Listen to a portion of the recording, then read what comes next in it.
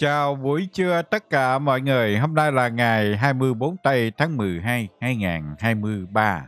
Đây là tin tức của Đài Mỹ, đài CBS Morning News, NBC News, ABC News. Mình tên Andy Nguyễn sẽ dịch cho mọi người nghe tin tức trực tiếp từ Đài Mỹ. Họ nói cái gì thì dịch cái đó ha. Chào buổi trưa tất cả nha. Chúc tất cả anh chị em có một buổi trưa vui vẻ và mạnh khỏe. Ngày hôm nay là ngày à, Christmas Eve ha. Qua ngày mai là ngày Christmas Day, cái ngày à, Noel ha. Thì à, chúc tất cả anh chị em có một mùa Noel vui vẻ và mạnh khỏe nha. À, Merry Christmas everyone. À, để Andy xem coi hồi sớm mình như Andy có đọc uh, xe 2 tới đây thì Andy đọc thêm ha. Hồi nãy mọi người xem cái bản nhạc của Christmas đó à, của đài chiếu cho mình xem. Đó là của trong trường đại học họ ca chơi cho vui. Thì uh, theo truyền thống mỗi năm thì đài cũng chiếu lên cho mình xem về trường đại học ha sớm không biết đọc tới đâu thì đọc đại ngang chỗ này nha. Không biết có phải không đọc đại thôi.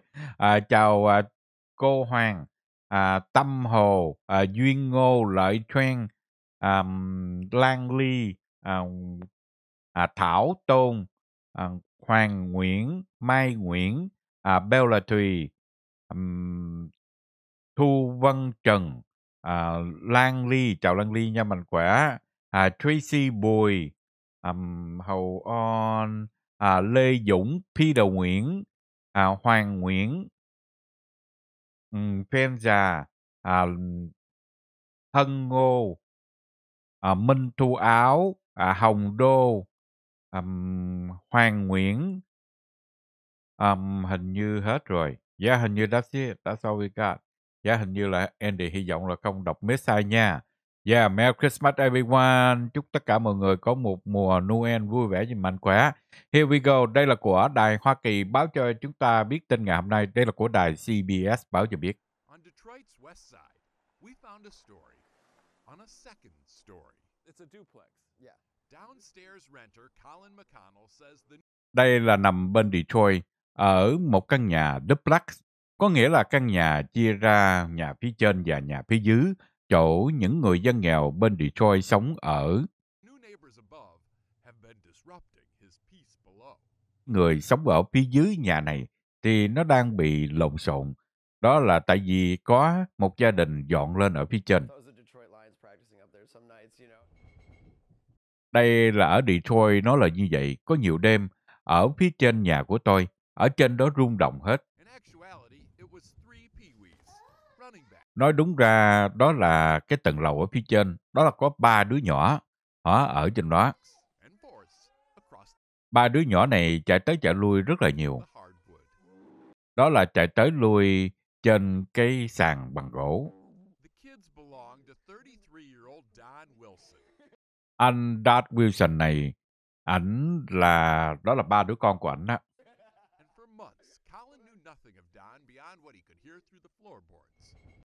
Đã liên tiếp mấy tháng qua, cái người sống ở dưới nhà này thì không có biết cái người phía trên là ai chân đó.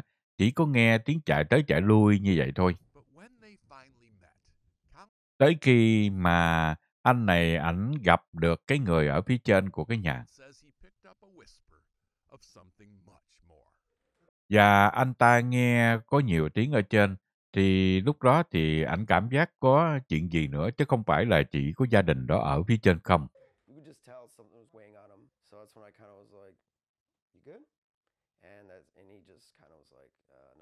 Đây là khi tôi thấy anh ta có ba đứa con. Tôi mới gặp anh ta, tôi mới hỏi anh ta như thế nào, tốt không?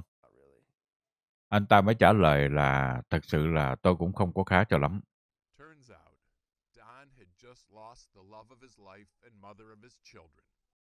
Anh Don này, đó là anh mới mất một người vợ. Người vợ, đó là ba đứa con của ảnh với vợ của ảnh.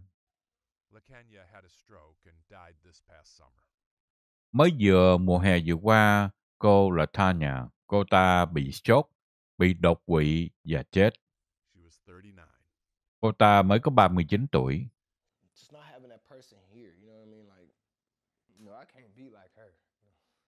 Không có một cái người bạn đời mà sống chung với tôi thì tôi không thể nào mà giống như cô ấy được.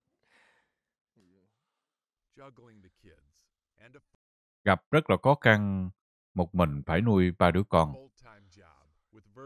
Phải làm sao mà làm việc full time, có nghĩa là một ngày làm 8 tiếng, 10 tiếng trở lên.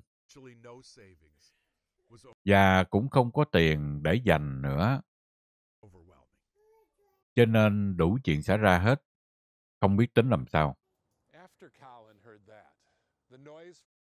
Sau khi mà anh Callan anh nghe được chuyện này, những cái tiếng mà ồn ở phía trên đó, đó là anh không có còn lo về những cái tiếng đó nữa.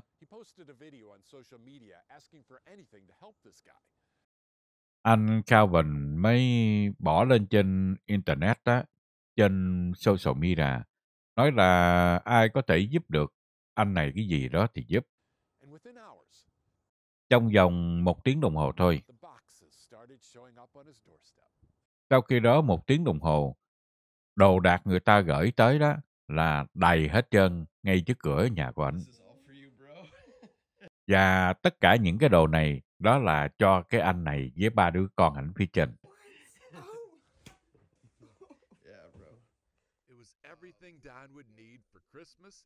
Tất cả những cái gì mà ảnh cần cho Noel, đồ chơi, đồ chiếc gì cho mấy đứa nhỏ người ta gửi tới đầy hết. Và gửi tới còn nhiều hơn nữa. Một cái mà nhìn thấy tốt nhất đó là tất cả những món quà này, đó là những cái người mà không biết anh này là ai.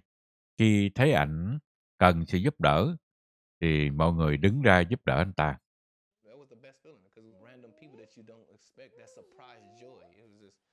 Đây là một trong những cái mà tôi thấy rất là vui mừng. Đó là có rất là cái niềm tin. Những người này đó là những người tôi không biết họ là ai. Và họ cũng không biết tôi là ai. Họ thấy tôi cần sự giúp đỡ thì họ giúp đỡ tôi. Tôi rất là cảm ơn, rất là mừng. Tôi chưa bao giờ cảm giác cái chuyện như vậy xảy ra. Đây là cảm giác rất là amazing.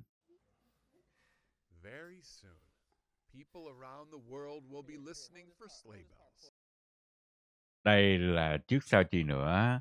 Sắp tới đây, đó là rất là nhiều người cũng nghe được cái tiếng của ông già Noel đó. À, có nghĩa là mùa lễ Christmas đã tới rồi đó.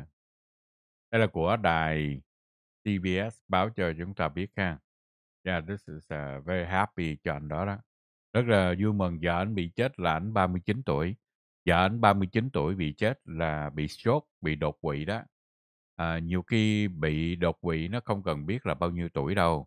Thì tới lúc bị là bị thôi. Có nhiều người nói lớn tuổi mới bị đột quỵ. À, nhỏ tuổi làm gì mà bị. Nhưng mà à, nhỏ tuổi lớn tuổi gì cũng bị láng hết trơn đó. Tới lúc bị là bị à. Yeah, mọi người phải cẩn thận đó. Yeah.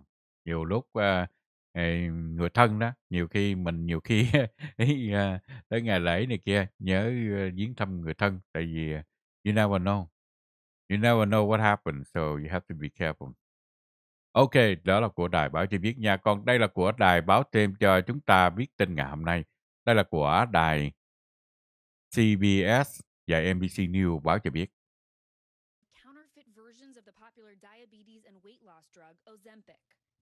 đây là một trong những cái thuốc mà được rất là nổi tiếng trong lúc này, đó là Ozempic, cho về giảm cân.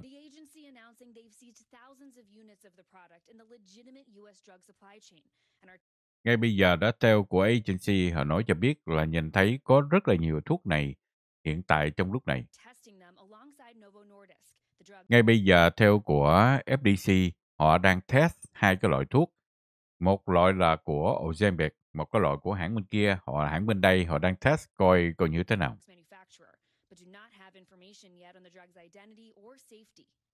Ngay bây giờ thì theo của FDA cũng chưa có đưa ra nói cho biết là về cái thuốc này nó bị nguy hiểm như thế nào ra làm sao thì cũng chưa có biết rõ.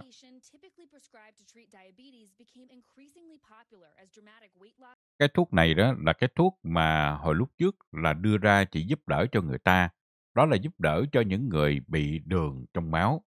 Thì tới ngày hôm nay thì nó trở thành là nổi tiếng. Đó là tại vì những cái người mà bị hơi mập chút xíu thì họ chích thuốc này, họ nói nhờ cái thuốc này mà họ được ốm. đó là cái thuốc Ozempic.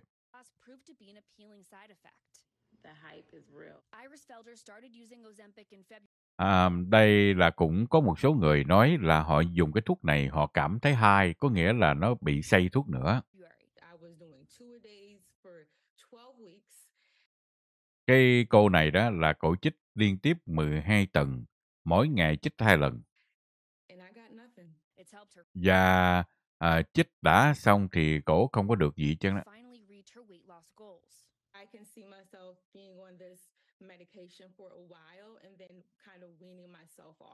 That popular À, đối với cổ thì cổ nói cổ chích thuốc này một thời gian, rồi sau khi đó là cổ ngừng, cổ không có chích nữa, rồi cổ tập thể thao này kia trở lại giống như trước thôi. Hiện tại trong lúc này cái thuốc này càng ngày thì người ta nói tới càng nhiều, càng nổi tiếng thêm thì những cái hãng này cũng đang bị trục chặt vấn đề đó là bán không có đủ thuốc để bán nè. Blanche Slater to turn to a compound version. I did have a friend on TikTok who was already using a compounding pharmacy. À, có một số người thì họ dùng những cái thuốc này rồi sau khi đó là thuốc này càng nổi tiếng càng trở thành mắc tiền thì họ đổi qua họ dùng cái loại thuốc tha, thuốc khác để cho nó khá hơn để cho nó rẻ xuống chút xíu đó giống như compound thuốc. Um, giống như ở tiểu bang của cổ ở nó chưa có cái loại thuốc mà nó thay thế cho cái loại Ozempic. Um, à, trong lúc này thì cổ đang Google cổ kiếm coi có cái hãng nào mà đưa ra cái thuốc tương tự giống như vậy để giúp đỡ hay không ngay bây giờ đang đưa ra của FDA đưa báo cho biết là mọi người phải cẩn thận tại vì có cái loại thuốc nó giả giống giống vậy đó.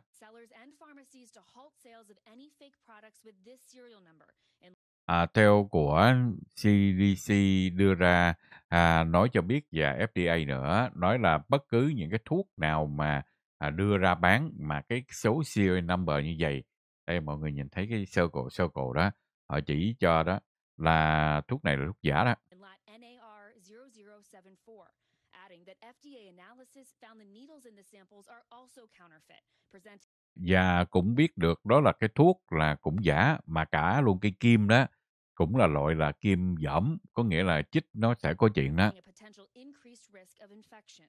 Khi mà dùng những cái kim mà cây kim dởm ờ, thì có thể mình làm cho mình bị phản ứng rồi mình bị à, đâm vô rồi mình bị bị này nọ thêm nữa khi mình chích đó typical for a drug like this for counterfeits to come on the market?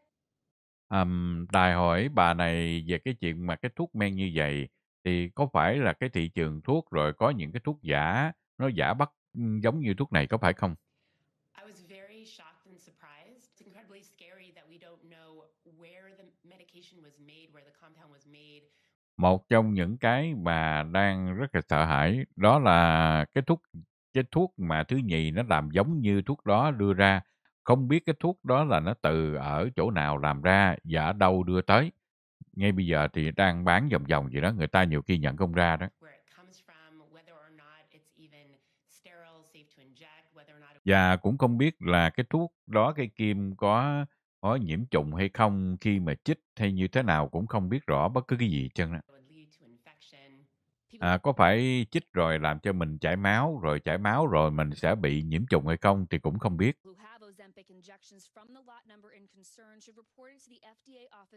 Với tỷ như mà ai có cái thuốc mà mình mua mà mình coi có cái con số giống giống vậy đó thì mình cảm thấy nó nguy hiểm thì mình nên báo cho FDA biết Criminal Investigations. The FDA để cho họ đưa ra điều tra để coi thuốc này nó bắt đầu từ đâu ra.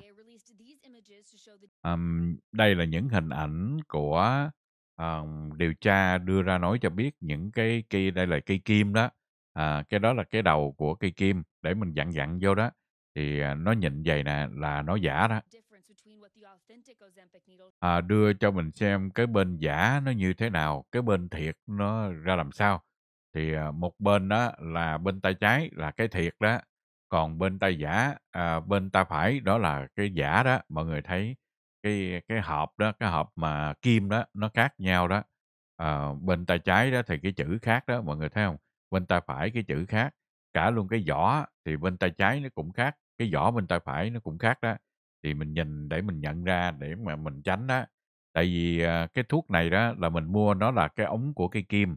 Nhưng mà muốn cái- mua cây kim đó là cây kim nó riêng. Rồi mình dặn vô mình chích là ngồi dục. Cái kiểu nó là vậy đó. Cái thuốc nó là vậy. Nhưng mà có cái cây kim này đó là nó có nhiều loại kim mà với tỷ mình mua mà gặp là kim giả là mình nhìn để nhận ra. Anh chị em nhớ để ý tới trong lúc này. versus the counterfeits they've seen. Patients, even though they very much want to start on these medications, À, đối với tất cả những bệnh nhân mà những cái người mà muốn bắt đầu để mà gia xài những cái thuốc này để giúp đỡ cho họ được ốm đó. Um, phải cần coi kỹ trở lại đứng lại nhìn cho kỹ rồi mới tính sao. phải cần nói chuyện với bác sĩ của mình đâu ra đó rồi mới tính. Tại vì bắt đầu mà xài cái thuốc này thì cho giảm cân thì phải tính là tốn tiền rất là nhiều chứ không phải vẫn chơi ngay bây giờ một tháng đó cái thuốc đó lên cả chừng cả ngàn đồng cho cái thuốc trong một tháng à, mỗi ngày chích à, một hai lần gì đó là cả ngàn đồng trở lên đó. Và phải cẩn thận khi mà mình chích rồi cái mình nghĩ mình nghe người ta nói là nó có cái thuốc giống giống gì nó rẻ tiền cái một ba mình chạy đi mua trên online không biết cái thuốc đó đâu ra thì mua rồi mình xài tại cho nó rẻ tiền chút xíu tại mỗi tháng cả ngàn đồng đâu phải là rẻ. Ở một năm là thấy 12 ngàn đồng tiền thuốc rồi cái đó là chỉ có tiền thuốc chích đó thôi chưa kể là với tỷ bệnh hoạn gì khác nữa thì tính ra nó càng mắc tiền cho nên phải cần cẩn thận trong lúc này.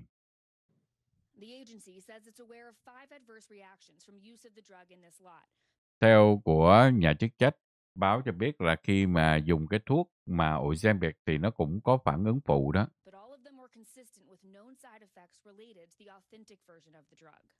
Cái thuốc Ozempic mà theo mà họ test thì cái đó là nó có bị phản ứng phụ.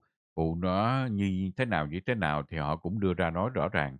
Nhưng mà còn cái thuốc mà mới, cái thuốc mà của thuốc giả, theo được kêu là thuốc giả là tại vì không biết nó từ chỗ nào nó tới. Thì thuốc đó thì chưa có test gì chân đó, cho nên chưa có biết chắc nó ra làm sao chân. Mọi người phải cẩn thận. Ok, đó là của đài báo cho biết nha. Còn đây là của đài báo thêm cho chúng ta biết tin ngày hôm nay. Đây là của đài ABC News báo cho à, chúng ta biết. Hold on, take a look at this. call between President Biden and Israeli Prime Minister Benjamin Netanyahu. The Mới đây nhất là cú điện thoại của ông Joe Biden đã gọi cho ông Tổng thống ở bên Israel. Ông Tổng thống Hoa Kỳ nói cho nhà báo biết ngày hôm qua.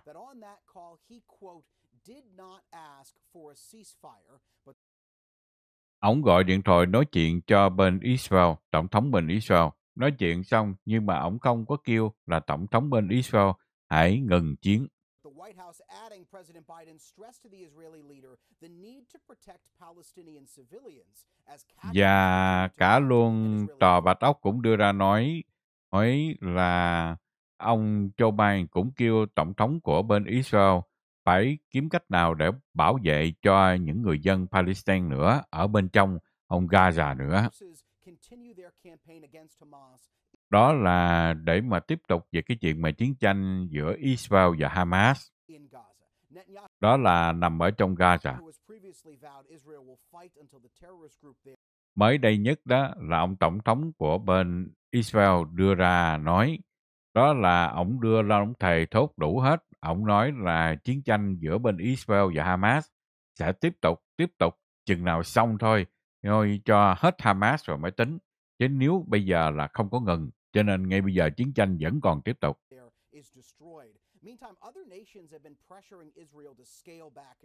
Ngay lúc này đó, những cái nước khác trên thế giới cũng đang đưa ra kêu gọi Israel hãy ngừng lại về chiến tranh bớt một chút xíu ở trong Gaza và ngừng lại những cái chiến dịch mà tấn công vô nhiều chỗ khác nhau ở trong Gaza.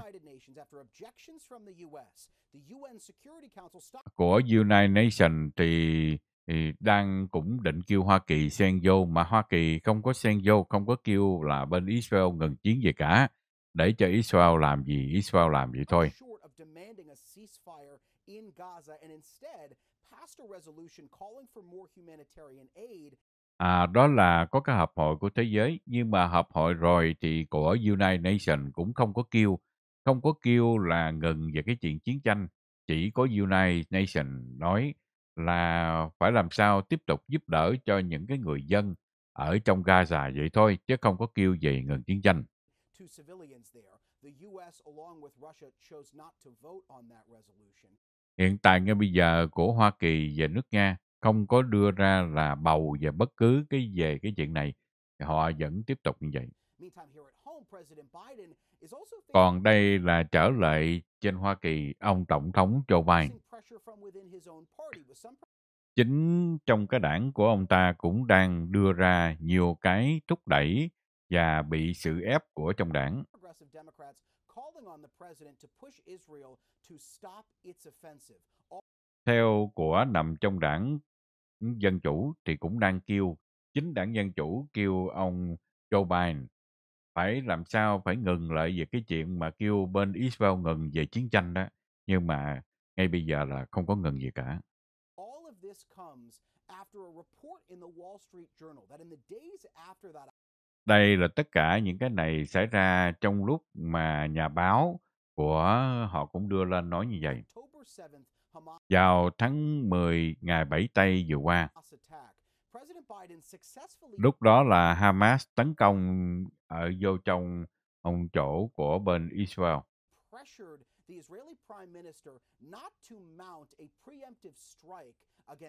Đó là của ông Tổng thống Hoa Kỳ kêu gọi Israel đừng có tấn công những cái chỗ khác, khác trừ ra ở bên trong chỗ Gaza thôi. Tại vì lúc đó bên Israel là đang định tấn công nhiều chỗ khác nhau từ trong Gaza chỗ nào chỗ nào chỗ nào sau khi cái chuyện mà chiến tranh bùng phát xảy ra à, giữa bên Israel và Hamas ở trong Gaza. nếu mà ở ngay Lebanon sắp tới nữa, tại chiến tranh sẽ càng dữ dội hơn nữa nhiều chỗ khác nhau chứ không phải là riêng ở trong Gaza không. Thì đây là những gì mà của đài họ báo cho biết ha, của về ông Joe Biden. Nha rồi, tới đây là Andy cũng xin tạm ngừng ha. Hay ngay bây giờ họ báo cho biết là còn chút xíu giờ nữa thôi. Andy cũng xin nhắc lại luôn, à, tối nay là không có làm tin tức ha. Qua ngày mai thì có gì gặp lại mọi người rồi à, vào buổi sáng nha. Tối nay là không có làm tin tức. Yeah, Merry Christmas tất cả nha. Chúc tất cả anh chị em có một mùa à, Noel vui vẻ và mạnh khỏe ha. Merry Christmas everyone. Tất cả mọi người à, buổi à, Noel vui vẻ và mạnh khỏe nha. Here we go. Tổng chào hết. Có gì mai gặp lại. À, chúc tất cả một đêm Giáng sinh vui vẻ và mạnh khỏe.